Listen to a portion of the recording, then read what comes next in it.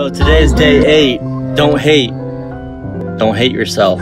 I want to talk paranoia and fear. I want to talk about experiences I've had. Fear at the time, it's like you there's nothing else in existence, right? It's almost like you, I guess you're seeing red in a way, but you're not angry, you're just scared and you're afraid. With all that happening, like person like me, my mind races and I see all these different possibilities. The time comes where I realize I'm okay or if the feeling subsides. I guess what I'm trying to say is that that's not the way it always can be, you know? You have to feel that there's a time when you can't see past what's right in your mind.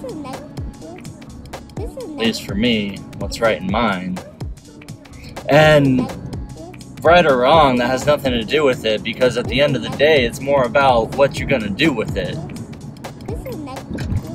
And what I'm gonna do is not sit here and cry. I'm gonna sit here and speak. I'm gonna sit here and not lie. I'm gonna tell you the truth. I'm gonna tell you what's going on tell you how I feel deep inside because at the end of the day, you need to hear this just as much as I need to say. It's unfortunate that a want, that need, that's the only reason I'm doing this because you need to see, you need to understand that there are other people feeling like me. You might be the same and I don't know, but at the end of the day, at the end of it all, that's how we decide to go. It's not necessarily trying to get out, trying to break away. I'm trying to feel the sunlight on my face, the warmth of the day.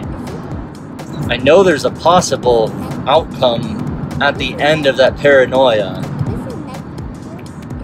And once I'm out, I see it. And all those things that they just led me to here, you know, led me to this point of where I'm recording this video in my car and I'm talking to you about these scars deep within. And I just do know that maybe, just maybe, if I was lesser of a man, if I had lesser of a mind, and I'm not saying that would be a bad inside, I'm just saying that if my mind to my personality to me who I am, if I was less than who I am, then I might not be here today to tell you about these things and my fate. My need to go on, my drive to conquer this emotional deep within my soul, I just don't know. I can't explain. I feel it's like a power from within.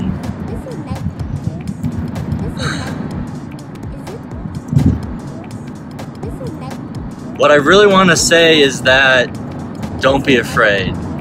For all anybody out there who's feeling that way, just try to realize that there are some things, some ways that you can feel after you get out of that stupid spiel that you're in, that, that stupid deal. This is necklace. This is necklace.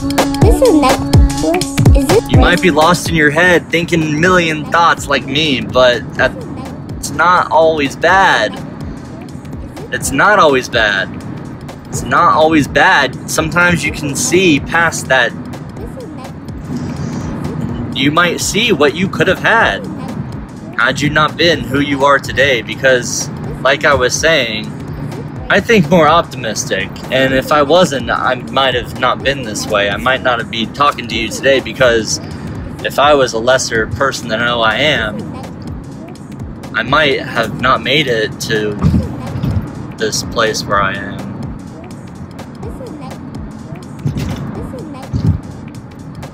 So keep that in mind with your day to day.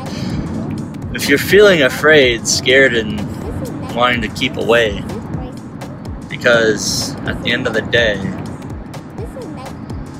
I think it's more than fate. I think it's just the way. This is next. Is it race? This is next.